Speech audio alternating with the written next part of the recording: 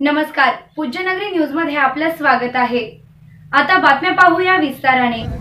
पूज्यनगरी न्यूजमध्ये आपले स्वागत आहे. परंडा तालुक्यातील महत्त्वाच्या घडामोडी. अखेर भैरवनाथ कारखान्याकडून मागील गळीत हंगामातील शेतकऱ्यांना चारशे रुपयांचा हप्ता जाहीर. तर चालू गळीत हंगामासाठी पहिला हप्ता दोन हजार दोनशे रुपये देण्याची घोषणा. आता बातमी विस्ताराने.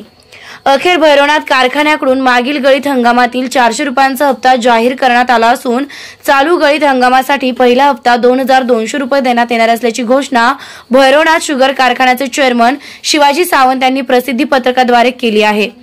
सन दोन हजार एकवीस बावीस मधील गाळप हंगामासाठी बाणगंगा साखर कारखान्याप्रमाणे दर देण्यात यावा अशी मागणी ऊस उत्पादक शेतकऱ्यांकडून करण्यात आली होती.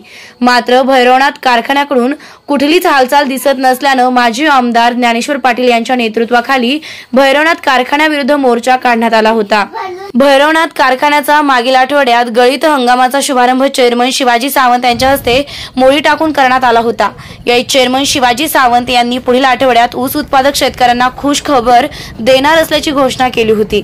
या घोषणेनुसार कारखान्याचे संस्थापक तथा आरोग्यमंत्री डॉक्टर तानाजीराव सावंत यांच्या सूचनेनुसार दिनांक पाच नोव्हेंबर रोजी चेअरमन शिवाजी सावंत यांनी मागील गळीत हंगामातील सोनारी येथील भैरवनाथ शुगर व वाशी युनिटसाठी चारशे रुपये प्रति रुपये प्रति टन प्रमाण जाहीर केला असून दोन टप्प्यात रक्कम देण्यात येणार आहे. दोनशे रुपये प्रमाण पुढील आठवड्यात शेतकऱ्यांच्या खात्यावर जमा करणार. तर दोनशे रुपये प्रमाण गुढीपाडव्यापर्यंत देण्यात येणार आहे. तर चालू गैद हंगामाचा पहिला हप्ता दोन हजार दोनशे रुपये जाहीर करण्यात आला आहे. महत्त्वाच्या घडामोडी पाहण्यासाठी पूज्यनगरी न्यूज चॅनलला सबस्क्राईब करा. धन्यवाद.